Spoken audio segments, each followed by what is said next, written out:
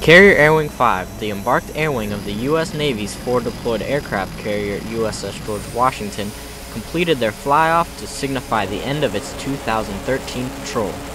It was good. It was good. Everybody played their part. Everybody played their roles, and we got all the birds off. The fly-off signified the culmination of the George Washington Carrier Air Wing 5 team's hard work over the past six months at sea. Us working together and just being a team, everyone's motivated to get home, and uh, I think a lot of that was, uh, was key in us making this fly-off successful. The team completed numerous exercises with regional partners and allies, four Goodwill port visits, and a humanitarian relief mission in the Republic of the Philippines. For USS George Washington, I'm Seaman Spencer Rhodes.